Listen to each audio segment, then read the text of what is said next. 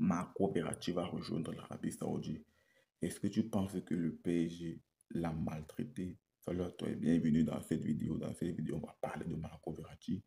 Mais avant de commencer, si tu me découvres à travers cette vidéo, ici, nous, on parle de foot.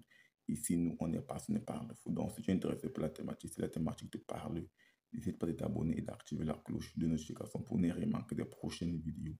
Si c'est fait, on est parti. Alors, le PSG et Marco Verratti, c'est la fin.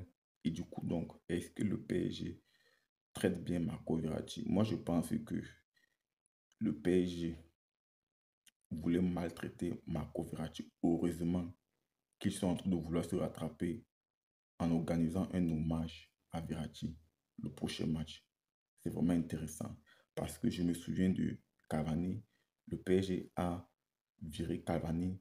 Ils ont viré Cavani comme un malpropre, comme un chien, comme un animal. Je ne pense pas que Cavani a eu des hommages. Et je trouve vraiment que si, euh, si le PSG fait des hommages à Verratti, ça prouve qu'ils ont évolué dans leur réflexion.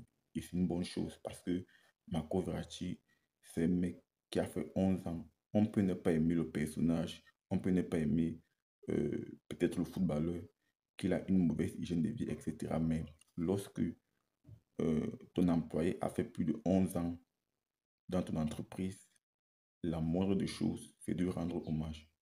C'est de lui rendre hommage. Donc, euh, un hommage est prévu samedi et pour moi, c'est une très bonne chose. Partage-moi ton ressenti en commentaire sur Marco Verratti.